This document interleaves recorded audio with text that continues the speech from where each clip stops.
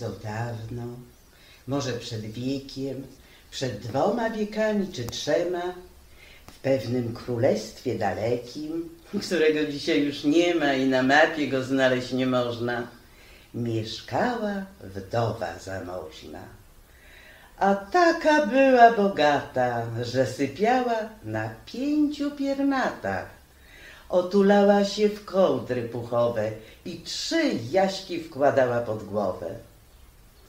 Miała trzy krowy, trzy kozy, trzy konie i trzy powozy, a do tego dwie córki, brzydule, które kochała czule. I pasierbicę sierotę, której w domu najgorszą dawała robotę, taką, co to brudzi i smoli. Dwie córki, brzydule, do woli wylegują się w łóżku, a macocha sierotkę pogania.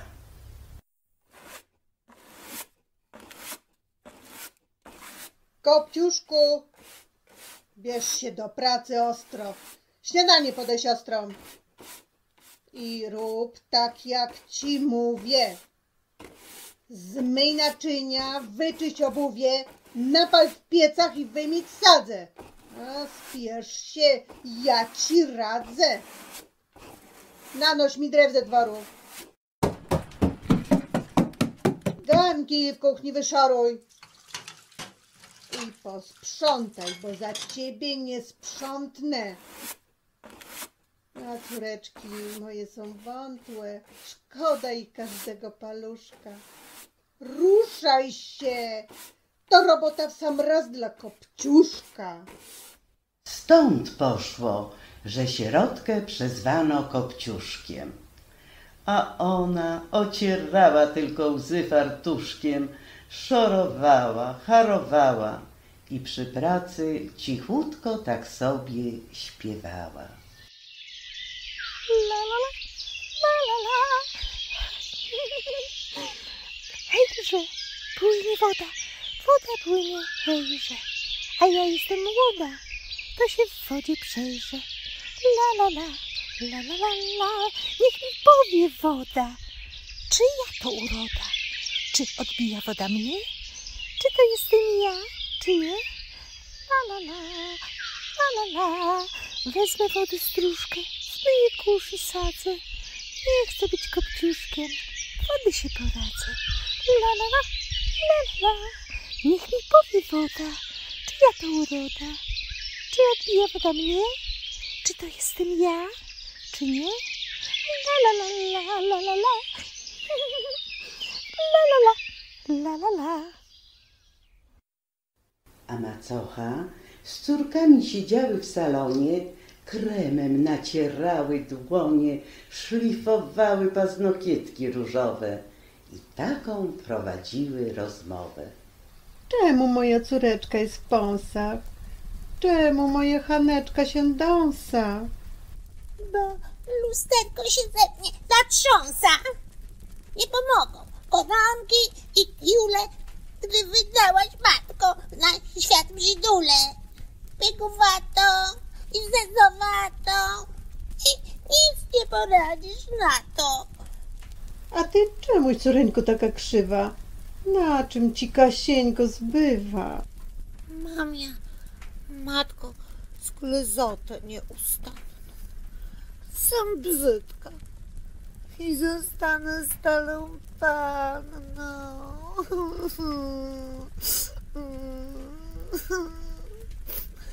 Ja bym chętnie wszystkie lustra potłukła, bo wyglądam w nich po prostu jak kukła. Nos pelkaty, pod nosem puszek. Nie chcę bzyca być nic kopciusek. To nieprawda. Buziaczek masz słodki. Dla mnie obie. Jesteście ślicznotki. Porównać was można z kwiatuszkiem, a nie z takim kocmołuchem, kopciuszkiem. Ja po prostu głowę tracę. Wymyślam dla kopciuszka coraz nowe prace. Mm. Teraz jeszcze schowam mydło. Niech wygląda jak straszydło. W popiół nasypię grochu, niech go wybiera po trochu. Gdy usmoli się ohydnie, wtedy już na pewno zbrzydnie. Gdybym wyładniała, wszystko bym oddała. Sukienkę z koronek i złoty pierścionek. Oj, mamo! Oj, mamo! Ciągle w kółko to samo. Lepiej już kopciuszkiem zostać. Byle mieć gładką płeć i powabną postać. Nie chcę być księżniczką. Chcę mieć ładne licko i stopy, i ręce i nie chcę nic więcej. Oj, mamo, oj, mamo. Ciągle w kółko to samo. Lepiej już kopciuszkiem zostać. Byle mieć gładką płeć i powabną postać.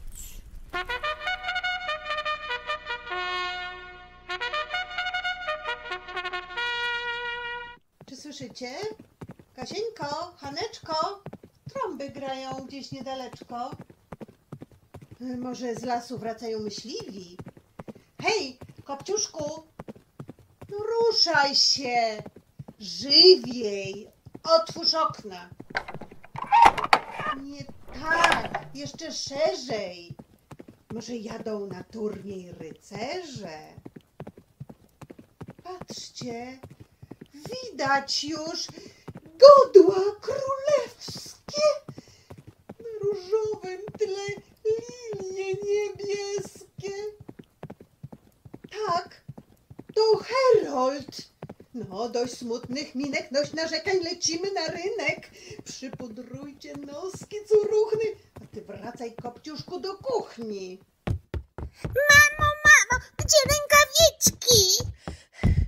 Mamo, wolniej, bo pogubię cycki.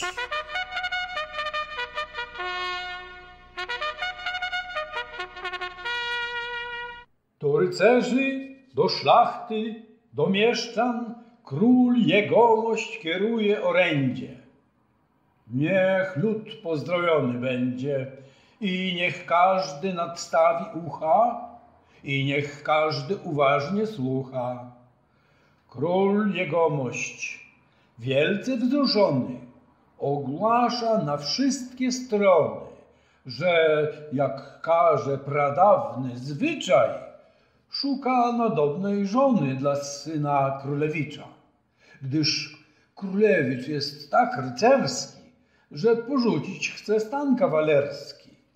Obwieszczam więc wszystkim i wszędzie, że dnia 1 czerwca w pałacu bal się odbędzie i król z całego serca na królewskie komnaty swoje zaprasza wszystkie dziewoje.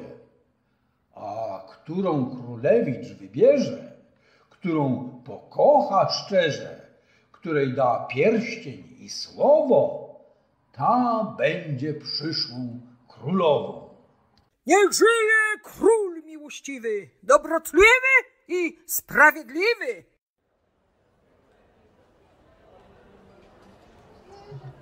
Lody, sprzedaję lody. Hej, do mnie, białogłowy. Mam w sklepie towar nowy. Wstążek wybór bogaty, atłasy i brokaty. Wszystko paryskiej mody. Lody, sprzedaję lody. Spieszcie się, piękne panny, Agnieszki i Marianny, Telimeny, Iwonki, Klementyny, Agaty, bierzcie jedwab, koronki, sprawiajcie nowe szaty. Ślicznotka czy brzydula, pójdzie na bal do króla. Mamo, chcę być na balu. Chcę być w złocistym szalu. Kup dla nas jedwabcienki. Spraw nam nowe sukienki. Ech, wy córeczki głupie. Wszystko w mieście wykupię, by wam dodać urody. Lody, sprzedaję lody. Kopciuszku, do roboty! Zawij mi papiloty. Kopciuszku, patrz brudasie, jest plama na tłasie. Przynieś moje pończoski. Daj mi chusteczkę proszki. Już niosę, daję, lecę. Kopciuszku, zapal świecę. Oj, ciężki los mój wdowi, cóż to za niedołęga. Idź powiedz Stangretowi, niech już konie zaprzęga. Pojedziemy karetą. No spiesz się, bo jak nie to... A szyby przetrzyj matką. Już lecę, pani matko. Mamo, jestem gotowa. Hmm, jak cię ujrzy królowa, chyba jej serce zmięknie, bo wyglądasz tak pięknie. A ja? Co powiesz, mamo? Ty wyglądasz tak samo. Napatrzeć się nie mogę. Królewicz się zakocha. No, ale czas już w drogę.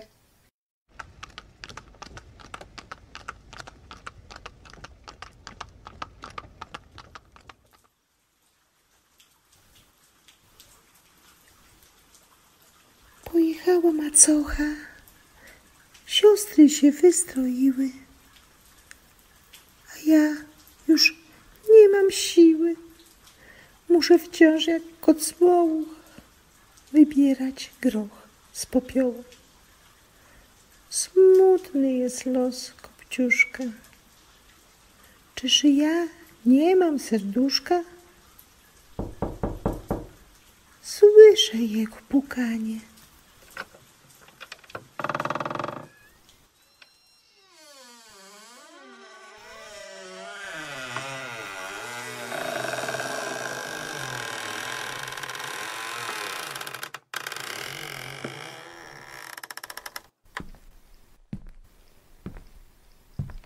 To ja pukam, kochanie.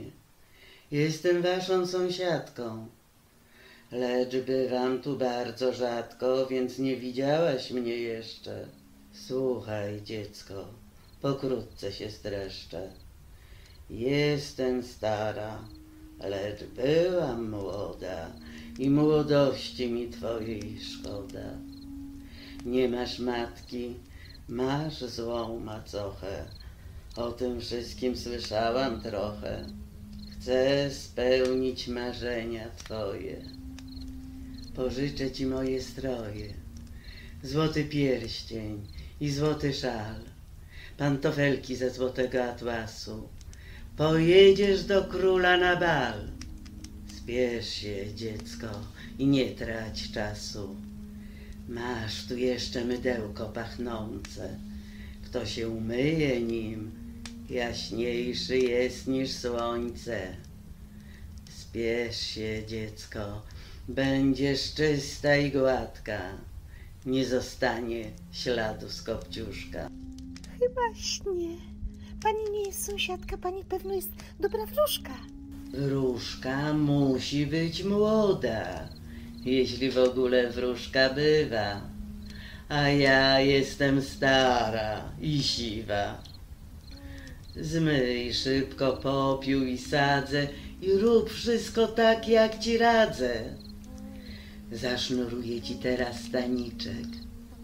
Nie zapomnij też wziąć rękawiczek. Ach, jak pięknie, jak pięknie, mój Boże. Jeszcze pierścień na palec ci włożę. Włosy łupnę. Poprawię sukienkę. To sen chyba. A szal weź na rękę. Chodź, pojedziesz moją karocą. Lecz pamiętaj, wróć przed północą. Ten warunek musisz spełnić dokładnie, bo inaczej wszystko przepadnie. Wszystko pryśnie, a zostanie niewiele. Brudne łachy i groch więc powtarzam. Ach, nie ma po co. Wiem, że wrócić mam przed północą. Dzięki, dzięki, jestem taka szczęśliwa.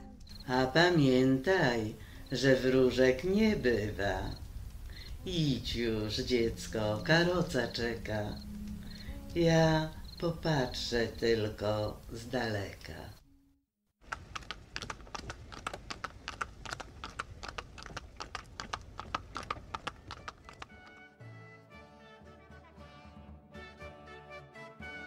Jego królewska mość nadchodzi wraz z królewiczem.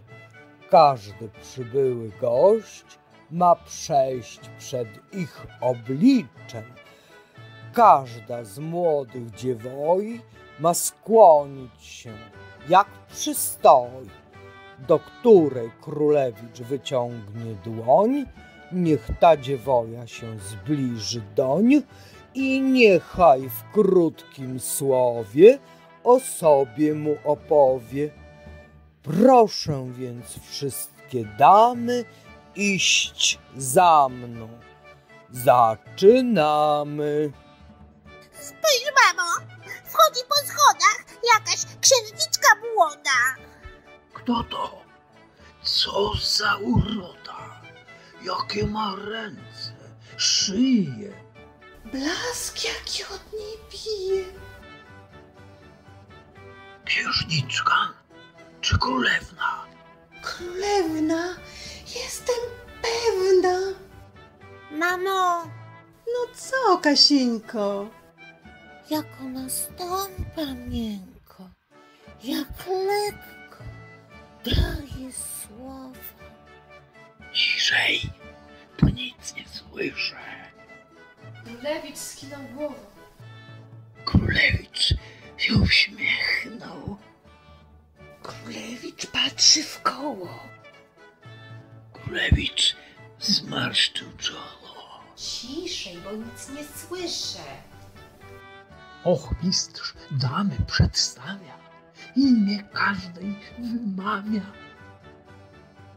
Panna Adela ze srebrnego strumyka, szlachcianka Fryderyka, panna Anna, córka złotnika, panna Jola spod Mądralina, córka wdowy, panna Katarzyna, hrabianka Klementyna, Alina, córka dworzanina, kasztelanka Helena, księżniczka Telimena, dwie panny Doroty, jedna córka starosty, druga dowódcy floty. A to panna nieznana w mieście, która w skromności niewieście i nie zdradza i nie wymienia imienia ni pochodzenia. Jaka piękna! Przyjrzyjcie się jej włosom i oczom. Panowie, tak nie można! Niech pani się nie tłoczą. Przed tronem zrobił się zator, więc głos teraz ponownie zabierze narrator. Powiem wam, moi drodzy, do łóżka, że w pannie bezimiennej poznałem Kopciuszka. A królewicz się nagle zapłonił, z tronu powstał i dwornie się skłonił i wyciągnął do niej ręce swe obie prosząc, by mu coś więcej powiedziała o sobie. Dziewczyna dumnie wzniosła czoło blade i zamiast mówić, taką zaśpiewała balladę. Jechał królewicz królewską drogą. Spotkał na drodze pannę ubogą. Był miesiąc maj, szumiał gaj.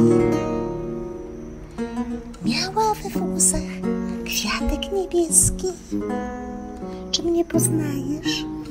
Jam syn królewski. Był miesiąc maj, szumiał gaj, a jam sierota z biednego domu. Taka się przecież nie zda nikomu. Był miesiąc maj, szumiał gaj. Życzę królewicz, piękny masz liczko, ale nie przyszłaś na świat księżniczką. Był miesiąc maj, szumiał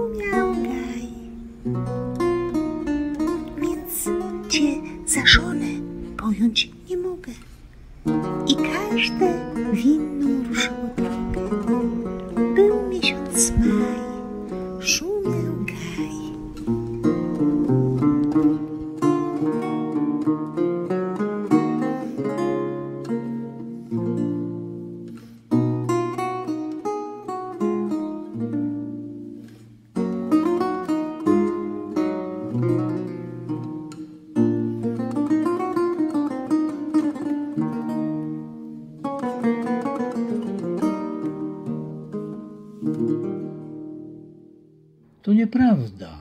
Ballada kłamie. Pozwól, że podam ci ramię. Choćbyś była sierotą biedną, z tobą tańczyć chcę, z tobą jedną. Królewicz tańczy, to wprost nie do wiary. Nie ma chyba wdzięczniejszej pary. Wszyscy tańczyć przestali. Oni dwoje zostali na sali. Jesteś piękna i lekka i zwiewna, jak z bajki wyśniona królewna. Królewiczu, to tylko złudzenie. Nie złudzenie, lecz olśnienie.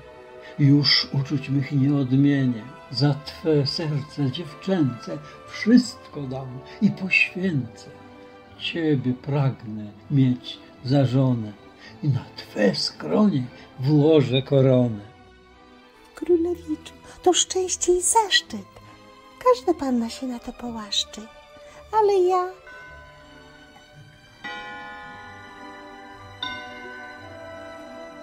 muszę wracać do miasta, bo już północ bije, dwunasta. Nie mam chwili do stracenia. Królewiczu, do widzenia, wypuść mą dłoń ze swej dłoni. Nie uciekaj. Zaczekaj! Dworzanie! Zatrzymajcie ją! A kto ją dogoni, złoty pierścień ode mnie dostanie. Prędzej, prędzej! Rozsuńcie się pani! Lećmy tędy. Zbiega po schodach. Znikła! Nie ma jej. A to szkoda. Pantofelek zgubiła na schodach. Pantofelek. Zgubiła? Zgubiła. To sprawa nader zawiła, bo królewicz w rozpaczy się miota. Pantofelek! Pantofelek ze złota? Posłuchajmy, co Herod obwieszcza.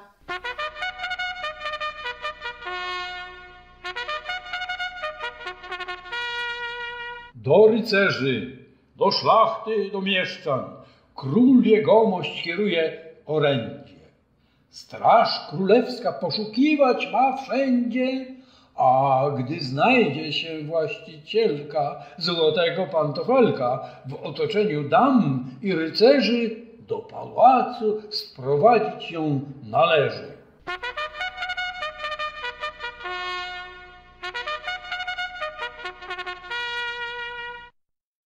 Gdy ta wieść się rozeszła po mieście, panien chyba ze dwieście czekało, proszę mi wierzyć, by złoty pantofelek przymierzyć. A królewscy strażnicy chodzili od ulicy do ulicy. Chodzili od domu do domu i nic nie mówiąc nikomu, szukali, gdzie ta nóżka niewielka, która do złotego pasuje pantofelka. Przyszli wreszcie do mieszkania macochy, a córeczki w jedwabne pończochy stopy swoje przystroiły i w złoty pantofelek pchają z całej siły. Lecz na nic to się nie zdało, bo wybranka królewicza miała stopkę bardzo małą. Strażnicy ruszają dalej. Przy kuchni się zatrzymali. A macocha się złości, aż jej oczy migocą. Nie chce przepuścić gości. Wchodzić tam nie ma po co. Jest tam domowa służka. Nosi miano kopciuszka. Czy to służka, czy szlachcianka bez skazy, my spełniamy królewskie rozkazy. Musimy wejść i do służki, pantofelek przymierzyć do nóżki. Pokaż, miła panienko, czy masz stopkę maleńką? Jam panowie sierota. Gdzie do mnie pantofelek ze złota? Nie możemy ci, panienko, wierzyć. Musimy pantofelek przemierzyć. Oto ci niespodzianka. Więc to ty jesteś królewska wybranka. Pantofelek leży jak ulał. Pójdziesz z nami, panienko, do króla. Mamo, ja cię chyba zabiję. Mamo, ja tego nie przezyję. Świat się kończy. Daję słowo. Nasz kopciuszek zostanie królową. Jego królewska mość wszem i wobec obwieszcza, tym z bliska i tym z daleka, Niech pan ochmistrz się streszcza, bo ślubny orszak już czeka. Dobrze, powiem więc krótko. Nadszedł kres wszystkim smutkom. Jesteśmy uszczęśliwieni, że nasz królewicz się żeni.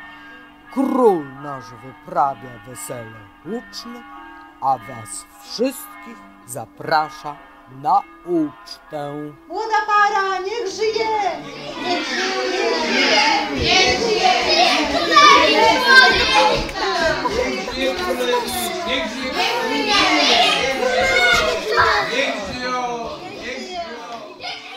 Mamo, ja cię chyba zabiję. Świat się kończy, daję słowo. Nasz kopciuszek zostanie królową. Pobłogosław mnie, pani matko, bo za chwilę już będę mężatką. Nie gniewajcie się na mnie, siostrzyczki. Podaruję wam złote trzewiczki i z obu was uczynię królewskie ochmistrzynie. Spiesz się, spiesz się, mój kwiatuszku. Nie ma czasu niestety. Trzeba zamknąć drzwi od karety. I w ten sposób zakończyć bajkę o Kopciuszku.